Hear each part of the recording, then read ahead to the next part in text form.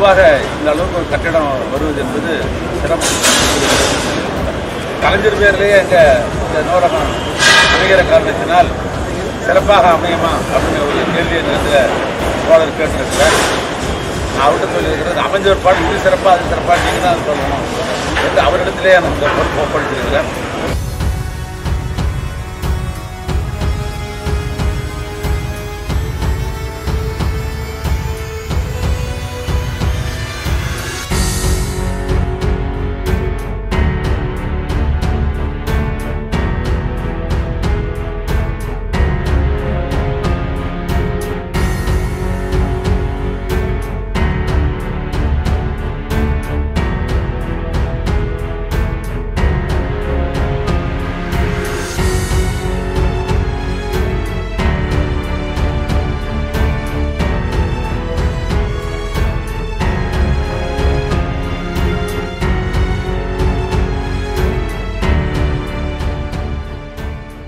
மதுரையில்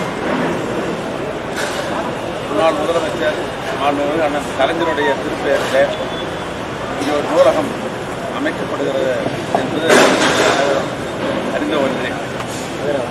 ஆனால் இந்த பணிகளில் விரைந்து பணிகள் நடைபெற வேண்டும் என்பதற்காக மாண்பு முதலமைச்சர் அவர்கள்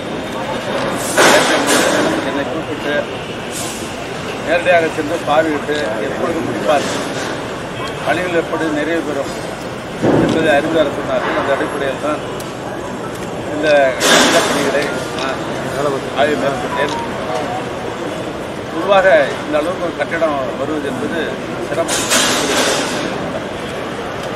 இன்றைக்கு இருக்கிற புதிய உத்திகள் நியூ டெக்னாலஜி அதையெல்லாம் பயன்படுத்தி இந்த ஒப்பந்ததாரர் அதே நேரத்தில் மதுரையிலேயே பொதுப்பணித்துறை சேர்ந்த தலைமை பொறியாளர் மேற்பார்வை பொறியாளராக இருக்கிற காரணத்தினால் அன்றாடம் மேற்பார்வை பொறியாளர்களும் தலைமை பொறியாளர்களும் தர கட்டுப்பாடு பொறியாளர்களும் இங்கே இருந்து பணிகள் தொடர்ந்து மேற்பார்வையின் மேற்பார்வைகளின் மூலமாக பணிகள் வேகமாகவும் சிறப்பாகவும் நாம் எதிர்பார்த்த அளவுக்கு தரமாகவும் இந்த பணிகள் நடைபெற்றுக் கொண்டிருக்கிறது. பொதுவாக ஸ்ட்ரக்சர் ஓரளவுக்கு முடிகிற செல்வாயில் இருக்கிறது. அடுத்த மாதம் அந்த இன்டீரியர் பணிகள் எது எந்தெந்த தளத்தில் அமைக்கலாம் என்ற அந்த ஆய்வையும் அலுவலகத்தில் மேற்கொண்டேன். அது சம்பந்தப்பட்ட ஆர்கிடெக்சர்கள் அது சம்பந்தப்பட்ட பல்வேறு துறை வல்லுநர்கள் அவங்க இதை செய்யலாம் அதை செய்யலாம் என்ற உத்தரவை இதை முதலமைச்சரிடத்திலே சொல்லி எதை எதையெல்லாம் எந்தெந்த தளத்திலே அமைக்கலாம் என்பதை முதலமைச்சர் தான் முடிவு செய்வார்கள். இந்த ஸ்ட்ரக்சர் முடிவதற்கானே அது முடிவு செய்து ஒப்பந்தாரத்தில் என்னுடைய பொறியாளர் சொல்லுவேன். அந்த பணிகள் சிறப்பாக நடைபெற்று கொண்டிருக்கிறது. இது ஏறத்தாழ ரெண்டு லட்சத்தி நாற்பதாயிரம் ஸ்கொயர் ஃபீட் உள்ள கட்டிடம் அந்த கட்டிடம். இவ்வளோ பெரிய கட்டிடம் மதுரையிலே இது வரைக்கும் வந்ததாக இல்லை ஏன்னா அது வேறுபாடு இன்னும் சொல்லப்போனால் மதுரை என்று சொல்வதை விட இந்த பணிகள் மதுரையில் அந்த நூலகம் அமைந்தாலும் கூட தெற்கு பகுதியில் இருக்கிற கன்னியாகுமரியிலேருந்து ஆரம்பித்து மதுரையில் இருக்கிற பல்வேறு மாவட்டத்தில் இருக்கிற கல்லூரி மாணவர்கள் பள்ளி மாணவர்கள் ஏன் துறை சார்ந்த பல்வேறு அலுவலர்கள் பட்டதாரிகள் பயன்படுத்துகிற அளவுக்கு இந்த நூலகம் சிறப்பாக அமையும். பொதுவாக என்னோட வந்த நாடாளுமன்ற உறுப்பினர் நம்முடைய வெங்கடேசன் அவர்களிடம் குறிப்பிட்டார். சென்னையில் ஏற்கனவே பேரில் அண்ணாவினுடைய பேரில் கோட்டூர்புரத்தில் ஏற்கனவே ஒரு நூலகம் கலைஞர் காலத்தில் அவர் நூற்றாண்டு விழாவை முன்னிட்டு அங்கே அமைத்தார்கள். இந்த நூலகத்தை அமைத்த கலைஞர் பேர்லேயே அங்கே இந்த நூலகம் அமைகிற காரணத்தினால் சிறப்பாக அமையுமா அப்படின்னு ஒரு கேள்வி நேரத்தில் தோழர் கேட்டிருக்கிறார். நான் அவர்கிட்ட சொல்லியிருக்கிறது அமைஞ்ச ஒரு பாட்டு இது சிறப்பாக அது சிறப்பாக நீங்கள் தான் சொல்லணும் என்று அவரிடத்திலே எனக்கு இந்த பொறுப்பு ஒப்படைத்திருக்கிறேன். இருந்தாலும் ஒன்றே ஒன்று இன்றைக்கு இருக்கிற முதலமைச்சர் அவர்கள் ஒன்றே ஒன்று என்ன கேட்டீங்கன்னாக்கா அவர்கிட்ட போய் கேட்டாங்க என்ன சிமெண்ட் போடுறாங்க? எந்த கம்பெனி சிமெண்ட் போடுறாங்க? எந்த கிரேடு போடுறாங்க? என்ன கம்பி போடுறாங்க என்று நுணுக்கமாக இடத்துல அவருக்கு பொழுது ஆலோசனை வழங்கி கொண்டிருக்கிறார். அதுதான் எங்கள் தொழில் சார்பாகவும் எடுத்து சொல்லி கொண்டிருக்கிறோம். ஆனால் நீங்கள் எதிர்பார்த்தது இந்த மதுரையிலே சிறப்பாக எப்போ முடியும்? இப்போ வந்து அதான் சொன்ன ஸ்ட்ரக்சர் அதாவது முழுவாக இந்த கன்ஸ்ட்ரக்ஷன் என்பது கிட்டத்தட்ட தொண்ணூறு சதவீதம் முடிந்திருக்கிறது இன்னொரு பத்து சதவீதம் முடியும்னா அது அடுத்த மாதத்துக்குள் மு- அடுத்த மாதம் முப்பதாம் தேதிக்குள் அது முடிஞ்சிடும். அதுக்கு பின்னால் தான் இந்த இன்டீரியர் வேலைன்றது தான் எப்பவுமே லைஃப் அதிகமாக இருக்கும். அதாவது புத்தகம் எடுக்கிற அலமாரிகள் செய்வது உட்கார்றதுக்கு வந்து சோஃபா போடுவது உட்கார்றதுக்கு வந்து பர்னிச்சர் இது பண்ணுறவங்களெல்லாம் எல்லாம் அடுத்தடுத்து இருக்கும். இது வந்து இன்றைக்கு இருக்கிற விஞ்ஞானங்களெல்லாம் பயன்படுத்தி கல்லூரி மாணவர்களும் பள்ளி மாணவர்களும் பயன்படுத்துகிற அளவுக்கு அந்த இன்டீரியர்லாம் அமைகிறது. இன்னும் சொல்ல போனால் தமிழருடைய கலாச்சாரமாக என்னுடைய அடையாளமாக இருப்பது மதுரை என்பது நம்ம அனைவராக இருந்தது இந்த நேரத்தில் இங்கிருந்து ஒட்டி இருக்கிற நம்முடைய திருநெட்டி போன்ற பண்டைய கால நம்முடைய தமிழருடைய வரலாற்றெல்லாம் தெரிகிற அளவுக்கு இந்த நூலகத்தில் அடையாளப்படுத்தப்படும்.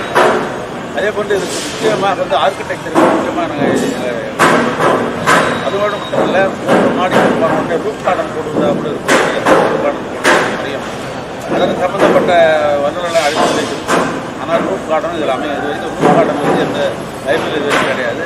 மதுரையில் ஒரு புதியதாக இருக்கிறோம் நீங்கள்லாம் எதிர்பார்க்கிறத விட இந்த வேகமா பணி நடைபெறுது. காலங்கள்லாம் மற்ற அரசு திட்டங்களும் இந்த மாதிரி நடைபெறுமான்ற அதெல்லாம் தவறு. அப்படி அவங்க சொல்லியிருந்தாக்கா இன்னும் வந்து கலைஞரை பற்றியோ அல்லது தமிழக அரசை பற்றியோ எங்கள் முதலமைச்சரை பற்றியோ அவர் புரிந்து கொள்ளவில்லை என்ற பொருள் தான் இப்போ கீரா இருக்கிறாரு. கே ராஜநாராயணன். அவர் வந்து தென்னக பகுதியை சார்ந்தவர் அவர். கரிசல் மண் காட்டுக்காரர். அந்த பணிகள் சிறப்பாக அமையணும். அது வந்து இந்த கிராம மனம் மாறாமல் அமைய வேண்டும் என்று அதே இடத்துல முதலமைச்சர் சொல்கிறார் நான் சென்ற மாதம் கூட நேரடியாக நானே கோவில்பட்டிக்கு சென்று அதெல்லாம் ஆய்வு செய்த பொழுது இந்த ஒப்பந்ததாரர் சரியாக இல்லை. உடனே ஒரு ஒப்பந்ததாரே ஒரு சிறப்பான ஒரு ஒப்பந்ததாரம் மாதிரி அந்த பணிகள் இப்போ நடைபெற்று கொண்டிருக்கிறது. ஆக கடகரத்தை பொறுத்தளவுக்கு ஒன்றே ஒன்று விஞ்சுகள் அளவுக்கு தான் கட்டிடக்கலையில் நாங்கள் ஈடுபட்டு கொண்டிருக்கும் மொழிய இந்த பிறந்து செய்வது என்பது எப்படின்னு கேட்டிங்கன்னா உதாரணத்துக்கு சொல்கிறேன் ஒரு காலத்தில் பாட்டி திருக்கிறேன்னு ஒரு சிமெண்ட் அந்த சிமெண்ட் போட்டு வேலை செஞ்சோம்னா இருபத்தி மூணு நாள் தான் க்யூரிங் போடணும். நீங்கள் வந்து காங்கிரீட்டை போட்டிங்கன்னா இருபத்தி மூணு நாள் செஞ்சால் தான் க்யூரிங் ஆகும். அண்டை நிலை வரும். இன்னைக்கு இருக்க நியூ டெக்னாலஜி பார்த்தோம்னா பிப்டி திருக்கிறன்னு ஒரு சிமெண்ட் இருக்குது. அது பார்த்தீங்கன்னா ஒன்பது நாளிலேயே வந்து ஒரு க்யூரிங் ஆகிடும். அதே மாதிரி தான் சொன்னேன். புதிய இன்றைய இருக்கிற விஞ்ஞான உலகத்திலே புதிய நியூ டெக்னாலஜி நாங்கள் பயன்படுத்துகிற காரணத்தினால எழுந்து வருது. அதே மாதிரி தொடர்ந்து மக்களுடைய பயன்பாட்டிற்கு எதெல்லாம் அவசரமோ அது போன்ற அவசரமான கட்டடங்களை பொதுமக்கள் நன்மை கருதி விரைந்து செயல்படுவோம். இது மட்டும் இல்லை அதையும் விரைந்து தான் சார் இந்த பேரறிவாளர் வழக்கில் உச்சநீதிமன்றத்தினுடைய நீதியரசு முக்கியமான கருத்து. அதே மாதிரி மாணவர்களுக்கு வந்து மனச்சுமையாகவும் அரசுக்கு தலைச்சுமையாகவும் இருக்கக்கூடிய நீட்டு விளக்குக்கு அது அந்த கருத்து ஏற்புடையதாக இருக்கும்? பொதுவாக இது சம்பந்தமாக இன்றைய காலையில் முதலமைச்சருடைய ஒரு அறிக்கை வெளிவந்திருக்கிறது. நம்மளால் தெரியும் உச்சநீதிமன்ற நீதிபதிகள் கொடுத்திருக்கிற அறிக்கையை கொடுத்திருந்து மாநில அரசாங்களுடைய அமைச்சரவைகள் கூடி முதலமைச்சர் அவர்கள் சட்டமன்றத்தில் தீர்மானம் நிறைவேற்றினாலும் சரி அமைச்சரவையில் தீர்மானத்தினாலும் அவர்களுக்கு உதவியாக ஆளுநர் இருக்க வேண்டும் என்ற அந்த பொருள்பாடு தான் அந்த நீதிமன்றத்தில் அந்த நீதிமன்றம் சொல்லியிருக்கிறார்கள். எங்களை பொறுத்த அளவுக்கு இப்போ நீட்டு தேர்வு என்பது உங்களுக்கே தெரியும். ஏற்கனவே சென்ற அரசாங்கம் போட்டாங்க.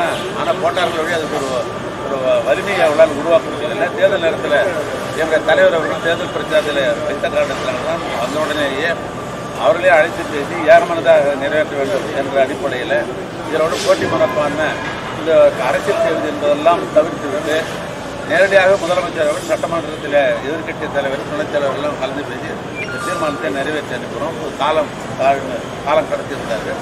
அதற்காக முதலமைச்சர் அவர்களே கவர்னரிடத்தில் ஆளுநரிடத்தில் நேரடியாக சேர்ந்து பல முறை வலியுறுத்தி தமிழ்நாட்டில் இருக்கிற மாணவர்களுக்கு நீட்டுத் தேர்வு இல்லை என்று சொன்னால்தான் தமிழ்நாட்டு மாணவர்கள் கிராம மாணவர்கள் படிப்பதற்கு வாய்ப்பாக இருக்கிறது சொன்ன அடிப்படையில் இப்போ ஆளுநர் அவர்கள் அதை வந்து பரிந்துரை செய்து டெல்லிக்கு அனுப்பியிருக்கிறார்கள். இங்கே எவ்வளோ நாங்கள் வந்து அழுத்தம் கொடுத்தாங்களோ அதே அழுத்தத்தை முதலமைச்சரோட அந்த அழுத்தத்தையும் கொடுப்பாங்க.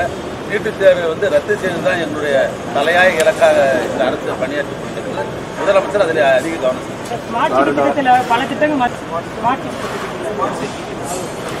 ஸ்மார்ட் சிட்டி திட்டம் என்பது நாங்கள் ஆட்சி பொறுப்பு வந்த உட்பாடு வந்த திட்டங்களே அல்ல. அந்த அரசு இருக்கிற பொழுது ஒன்றிய அரசாங்கத்தின் மூலமாக அறிவிக்கப்பட்ட திட்டம். இந்த பணிகளை வந்து மாநில அரசாங்கம் தீர்வு கொண்டிருந்தது. அதுவும் அப்பொழுது அதை அறிவிக்கிற காலங்களிலே இங்கே மக்கள் பிரிதே கிடையாது. அப்போல்லாம் மக்கள் பிரிதே கிடையாது. இப்போ புதிதாக மக்கள் பிரிந்து வருகிற பொழுது பல்வேறு இடங்களில் இருக்கிற அந்த வார்டு கவுன்சில் அதான் வலியுறுத்தி கொண்டிருக்கிறார்கள். இதெல்லாம் சீக்கிரம் செஞ்சு முடிங்க. இதெல்லாம் குறையா இருக்குது அப்படின்னு சொல்லி இருக்கிறாங்க மாவட்ட நிர்வாகத்திலே நாங்கள் சொல்லியிருக்கிறோம். அதனால் இந்த பணிகள் இருக்கிற துறை பணிகளை விரைந்து செய்து தான் முடிவு செய்யக்கூடிய மொழி இந்த பணிகள் நாங்கள் முதல்ல நாங்கள் அறிவிக்கிறோம் அதுக்கு வேண்டிய திட்ட மதிப்பீடு நாங்கள் தயார் செய்யல. ஏற்கனவே இருக்கிற பணிகள் இருக்கிற தொய்வாக இருக்கிறத நாங்கள் திட்டங்களை பயன்பாட்டுக்கு திறக்காம கிடக்குன்றாங்க. பல இடங்கள்ல மதுரையில. எட்டு திட்டங்கள் வந்து முடிக்கப்பட்டுச்சு மாச கணக்கான பூட்டியே கிடக்கு. நிறைய இடங்கள். பெரியார் மட்டும் தான் திறந்துக்கப்பட்டிருக்கு. மற்ற எல்லாமே பூட்டியே கிடக்கு. இல்லை அது இது வரைக்கும் என்னோட தகவலுக்கு இப்போ நீங்கள் தான் சொல்லியிருக்கிறீங்க. நான் இப்போ வந்து உங்களுக்கே சரி இப்போ நீங்கள் தான் வர போகிறீங்க ரோட் சேஃப்டி மீட்டிங் மீட்டிங் நடத்த போகிறோம் நான். அப்போயே மாவட்ட ஆட்சித்தலைவர்கிட்ட சொல்லி எந்தெந்த திட்டங்களெல்லாம் வந்து நிறைவு செய்யப்பட்டிருக்கிறது என்பதையெல்லாம் ஒரு பட்டியலை வாங்கி ஏன்னா இங்கே அமைச்சர்கள் ரெண்டு அமைச்சர்கள் இன்றைக்கு இருக்கிறாங்க. நம்முடைய வருவாய் மற்றும் பதிவுத்துறை அமைச்சர் அவர்கள் இங்கே இருக்கிறார் அமைச்சர் அதே போன்று வந்து இங்கே நிதித்துறையினுடைய அமைச்சர் இங்கே தான் இருக்கிறாங்க.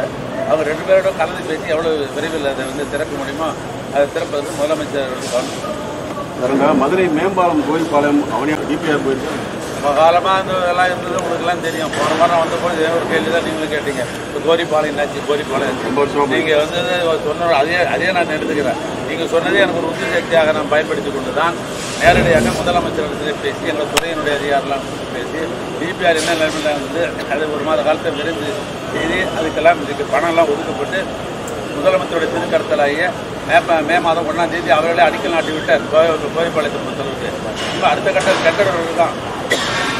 அட்மினிஸ்ட்ரேஷன் டேங்க் போயிருக்குது.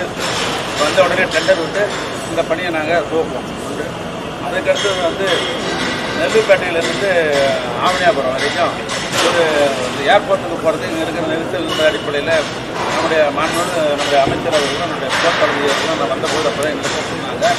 அது உடனே முதலமைச்சர் கவனத்துக்கு பண்ணி அது கட்டாயம் செய்ய வேண்டியதுதான்.